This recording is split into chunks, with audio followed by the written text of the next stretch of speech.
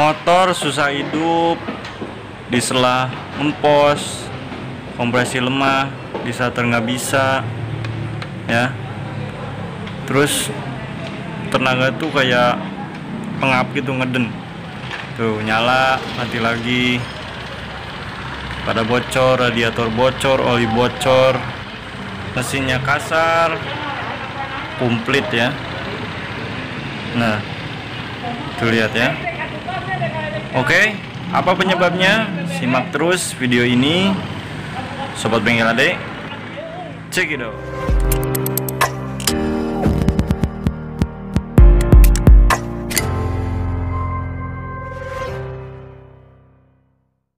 Assalamualaikum warahmatullahi wabarakatuh. Salam Hong Bengkel HD. Oke sobat Bengkel HD. Nah, di sini sudah ada mesin Honda Vario 110 F eh, karbu ya, karburator.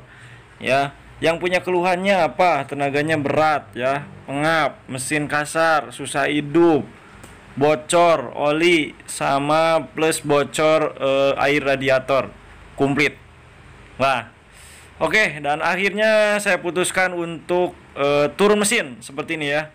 Sudah kita cek uh, terlebih dahulu dari bagian klepnya, ternyata dari baut silinder kopnya ada yang slack ya, dol. Jadi kompresinya bocor. Oke, sobat bengkel HD, sebelum lanjut bagi sobat bengkel HD yang baru mampir di channel ini, wajib support Bengkel HD, klik subscribe-nya dan aktifkan notifikasi loncengnya karena subscribe itu gratis sobat Bengkel HD ya. Klik subscribe-nya agar saya termotivasi untuk membuat tutorial dan informasi bermanfaat tentang seputar dunia otomotif ya. Seperti itu sobat Bengkel HD, khususnya motor ya. Oke sobat Bengkel HD, kita akan lakukan proses pembongkaran terlebih dahulu di bagian CPT ya. Karena sebelumnya karena saya sudah mengingatkan kepada customernya bahwa crankshaftnya ini udah kena ya gerigi fast drive-nya ya. Nanti kita lihat ya seperti apa kondisinya. Mungkin ini malah nambah parah ya. Karena dulu itu sempat geriginya udah agak aus ya karena kan ini masih menggunakan starter kasar ya pakai pinion. Nah di situ ya terjadinya pengikisan ya seperti itu. Jadi ini emang motor udah 2007 berarti sekarang 2020 udah hampir 13 tahunan ya. Ini baru pertama dibongkar ya mesin. Oke kita buka dulu ya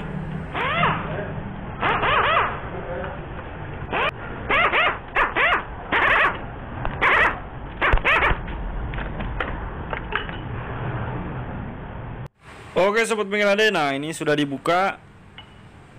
Ya. Alhamdulillah nih kotor banget.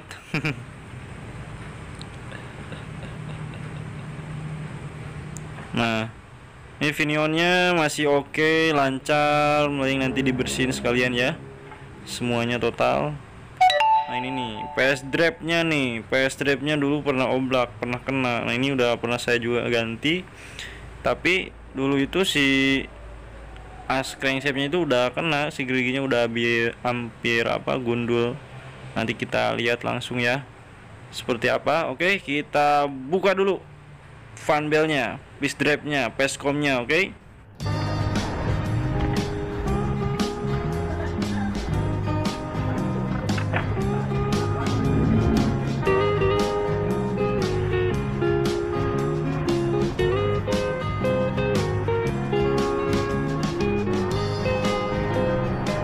Oke sobat bengkel ade, nah ini PS drive-nya ya.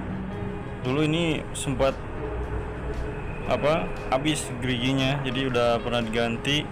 Nah, ini nih yang saya maksud ini dari sininya nih. Oh, ini PScom. Oke, PScom-nya. PS nya oblak nih. Harus ganti nanti sekalian ganti ya. Nanti sekalian ganti PS LED tuh ini udah oplak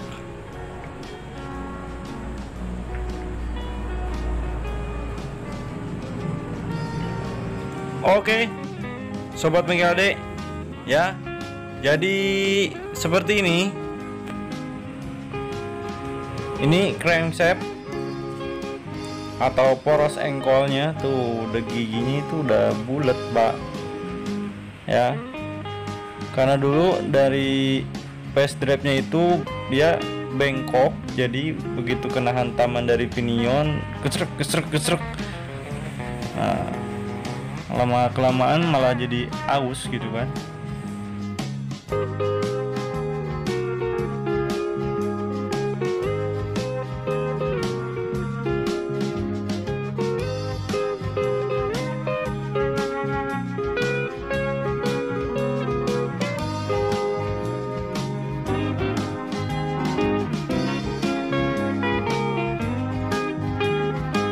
Oke sobat bengkel HD Ini sudah kita buka ADS nya nih. Kita buka nanti sintriknya. Kita coba topin dulu ya. Topin dulu.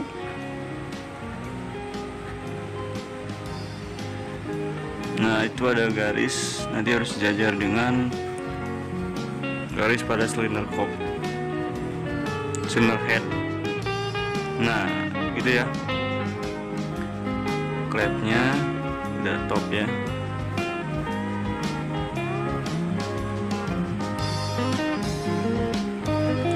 Nah ini nanti kita buka.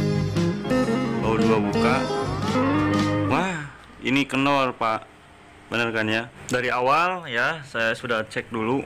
Nah ini yang dimaksud dengan baut silinder kop itu yang ini ya. Jadi yang ini yang bagian kiri itu atas bawahnya jebol pak. Tuh selek jadi si kompresinya itu bocor ya. Nah paling solusinya nanti kita tap ulang ya. Drat bautnya yang dari bloknya kita nanti bawa ke tukang bubut. Tuh kalau yang dua ini kenceng. Nah yang dua ini selek.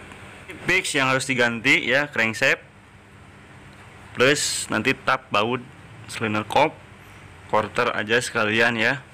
Karena ini motor baru pertama kali dibongkar ya masih standaran. Biar nanti kompresinya jos skir clap ganti seal head packing semua. Tuh biar nggak bocor-bocor lagi kayak gini. Oke kita lanjut ke proses pembongkaran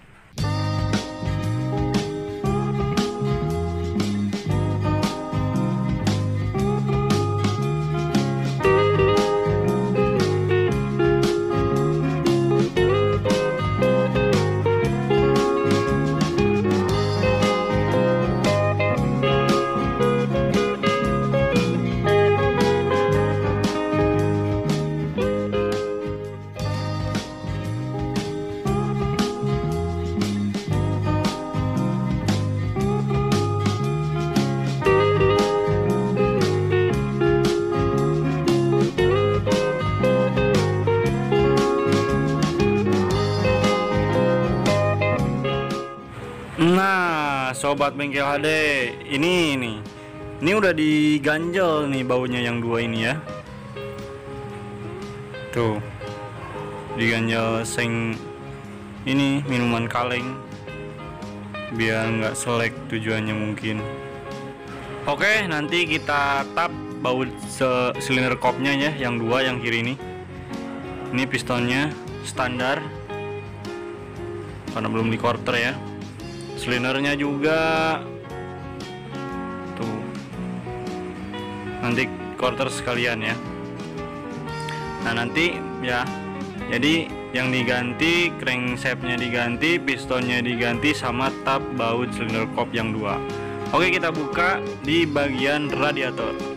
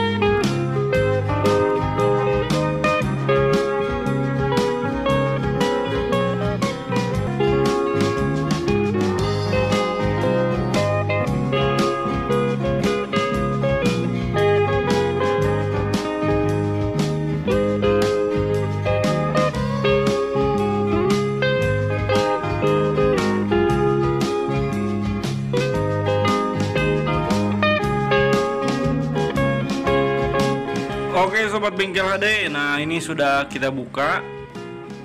Ini rantai mesinnya. Nah ini rantai mesinnya nanti sekalian aja ganti ya. Ganti Daripada dua kali ya. Dua kali kerja mesin masih kasar. Ganti aja sekalian. Nah ini stang pistonnya nih. Duh giginya habis ya. Tuh ini yang ke pace drive pak. Jadi gara-gara gigi ini ya pace drive pace drive nya itu jadi cepet jebol terus starter juga nggak bisa. Bearingnya jadi harus ganti nanti satu paket segini. Ini harganya lumayan pak. Ratusan ribu ya. Belum lagi barangnya. Harus nyari dulu ya. Tuh seperti ini stang seher ini pistonnya juga masih standar. Ya terus nanti kita quarter juga naik oversize 50 ya karena ini standar biar bersih pakai 0,50 mm ya. Nah, ini permasalahannya yang kasar ya mesinnya kasar terus eh, apa sama packing juga nanti ganti bocor juga ya. Di quarter biar ngepres lagi kompresinya padat lagi gitu kan. Nah yang terakhir ini nih pak. Waduh ini udah diganjal pak. Ini tujuannya biar nggak selek pak. Tapi tetap aja ya ketika mesin jalan mesin hidup kompresi padat dia jebol lagi ini sih yang lebih fatalnya. Jadi kompresinya nggak ada ya. Makanya di sini saya langsung mutusin untuk langsung dibongkar mesin. Ya jadi nanti di tap dulu. Nah baudinya dratnya. Jadi si baunya itu bagus tapi drat dari bloknya yang hancur. Terus sama crankshaftnya ganti pistonnya ganti kita quarter sekalian keteng juga kita ganti. Nah seperti itu sobat bengkel adek ya jadi permasalahan motor ini cukup lumayan ya jajan ini mah bang. Asli ya jajan nih kalau di total lumayan ya kena habis sejuta lebihan lah karena yang mahal itu crankshaftnya ya. Oke sobat bengkel deh semoga video ini bermanfaat ya. Like komen dan share. Dukung juga bengkel HD dengan cara klik subscribe-nya dan aktifkan notifikasi loncengnya Terima kasih yang sudah support Bengkel HD. Terima kasih. Saya Aji. Sampai ketemu di video selanjutnya. Wassalamualaikum warahmatullahi wabarakatuh.